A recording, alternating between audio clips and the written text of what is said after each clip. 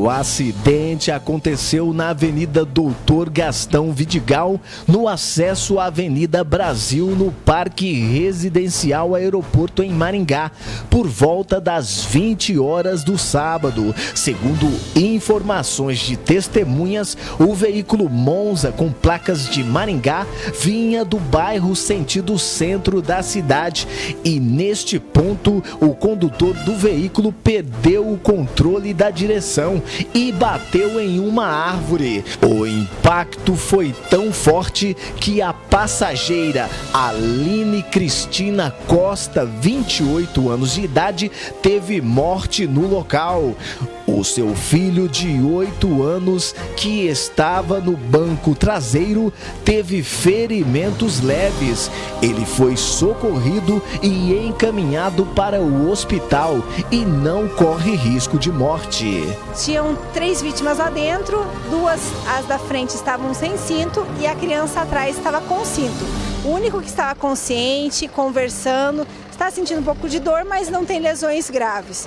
Os, o casal da frente, o motorista estava inconsciente, porém ele ainda se encontra com vida, né? Ele, motorista esperando, está com batimento cardíaco, mas não responde e tem uma lesão ali na região, região da face.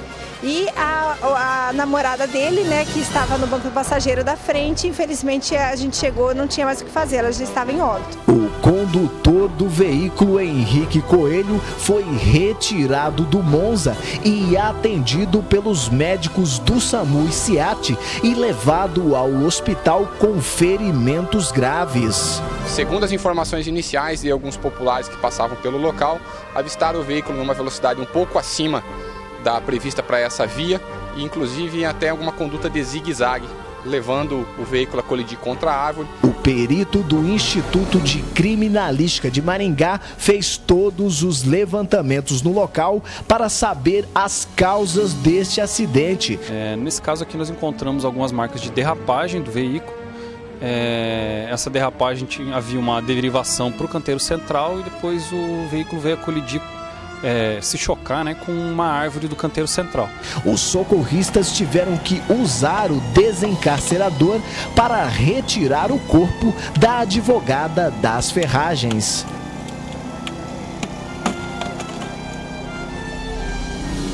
Um grupo de jovens religiosos que passavam pelo local ficaram chocados com a cena e pararam para fazer uma oração. É, foi uma, uma coincidência, para não dizer uma providência divina. Nós estávamos a caminho de uma apresentação musical e nos deparamos com essa cena triste, dolorosa, e a Igreja Católica, em sua missão pastoral, veio prestar assim a seu, sua solidariedade e a sua misericórdia, rezando pela salvação dessa alma, que agora está junto de Deus. Pai santificado seja o vosso nome. Venha a nós o vosso reino, seja feita a vossa vontade, assim na terra como no céu. O nosso cada dia perdoai as nossas ofensas, assim como nós perdoamos a quem nos tem três para vocês. Não deixe sair de Pai, do Filho e do Espírito Santo. Amém.